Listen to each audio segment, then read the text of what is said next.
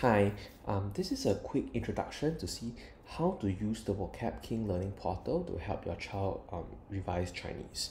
Um, there are many different features, uh, but I recommend three things at the start. Let's start with pet battle. So pet battle is one of our most popular features. It's if you have Pokemon uh, and the way you progress in the game is by actually answering Chinese questions. Um, there are many different pets, but let's start by selecting the pet that you want um, different realms and different stages give you different kind of pets. Um, and you can eventually level and merge uh, your different pets together to, to make them stronger. Um, which you can then use to you know uh, do harder levels or even challenge your friend in the arena. So let's just start with a simple battle. So you select the first stage uh, and you can if you complete um, you defeat your opponent by answering Chinese questions you can capture the pet and you have to do it within six turns. So you start by selecting the ability that you want uh, and then you come into a question right? So let's say if you get the question wrong um, this brings you to our smart help system. So this system helps students if there's if there are any words that they do not know they can actually click on it to see its english meaning its pinyin um, and if it's a keyword uh, you can even see the example sentence here read aloud and most importantly add it to your word list. Now adding to your word list is important because it tells the system that this is the reason that uh, you know um, your child got this question wrong and the system will keep testing you automatically until you get it correct uh, and there's an AI algorithm that does everything. Now you notice that because you got the question wrong, your attack actually misses. So this incentivizes kids to keep practicing uh, and also take it seriously because they can only capture a pet if they answer questions correctly. Uh, so this is the first feature, pet battle.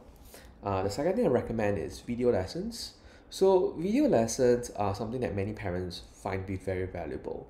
Uh, it's actually um, videos highlights taken from our enrichment classes focusing on compo, compre and oral which are the three areas that kids struggle the most. So you can download the in-class worksheet, print out and follow along and you can see that we have three videos over here. This is updated every week um, if you're on a gold plan, you can access the latest video. Uh, and if you are on the diamond plan, you can access videos from the start of the year. So all the videos from the start of the year, and you can actually send us. Um, you know, you can do the the compo, comprehend anything. Send it to us for marking, and we'll return it to you. So this is the second uh, feature, which is video lesson. Another thing that I, I would recommend would actually be the comprehension passages. So just now I was mentioning that you know an area that comprehension is uh, where kids struggle with. Um, and so we have actually digitalized uh, you know our comprehension passages. Uh, you can click on the 问题 over here and it is you, you can follow and do a, and then if you have any questions you do not know similar to the smart house system we have just now you click on it to see its meaning add to your word list. Um, and again adding to your word list the AI system will automatically help you revise. And that's the key part because many re- the, re- the main reason why many um, you know kids struggle with comprehension is because they don't understand the vocabulary and even if they, they, they don't understand it either skip it or they check the dictionary but then they don't actually you know there's no uh, mechanism for them to actually um, help them remember in the future. So adding to your word list the system will do everything for you automatically. So there are the three things I recommend again pet battle video lesson as well as the comprehension passages. It's for the start and there are also tons of other features like you know stories, idioms, leaderboards, so on and so forth. Yeah, hope this helps. Please let me know if any questions. Thank you.